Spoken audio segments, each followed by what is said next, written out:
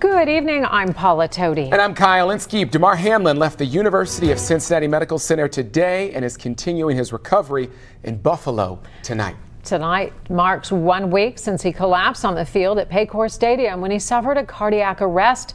David Winter attended today's update with doctors. He joins us now from UC Medical Center with a look at what is next for his recovery. All smiles today, David. Yeah, that's for certain, Paula.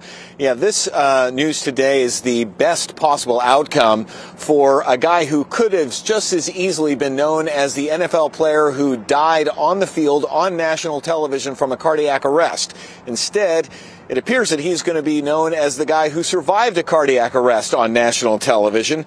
Doctors today surprised everyone by announcing that Damar is not only out of critical condition, but he has left UC Medical Center and is now back in Buffalo recovering at a hospital there. They went on to say it's too early to determine what caused his heart to stop, and it's too early to determine whether he will play football again professionally. They said he's been speaking and walking normally, and the goal is to return him to the way he was prior prior to the injury, but that recovery will be measured in weeks, if not months. The goal for every uh, patient who suffered a you know serious illness or injury uh, is to uh, help them to return as close to baseline as possible. Uh, so we anticipate that he would have you know likely ongoing uh, needs, uh, you know whether it is therapy or you know working um, with different specialists uh, to get him as close to, to where he uh, really can be. But, you know, again, to echo what we talked about on Thursday, he appears to be neurologically completely intact, uh, and there's no reason to uh, believe that he won't continue his path to recovery.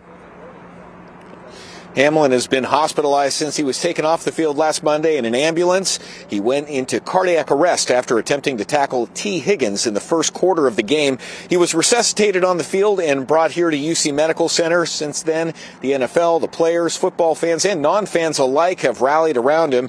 He began posting to social media by the end of the week and even posted a picture of himself Sunday watching the Buffalo game at the hospital with his family. Doctors say if you are looking for a way to honor Support people learning CPR, learn CPR yourself, and support public access to defibrillators.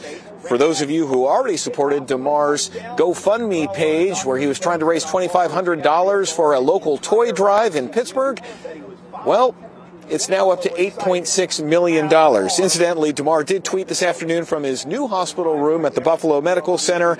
Grateful for the awesome care I received at UC Medical Center. Happy to be back in Buffalo. Paula. Oh, that is so good. There are just so many winners here, and we, we love this day, and we're continuing to follow the progress. Thank you, David.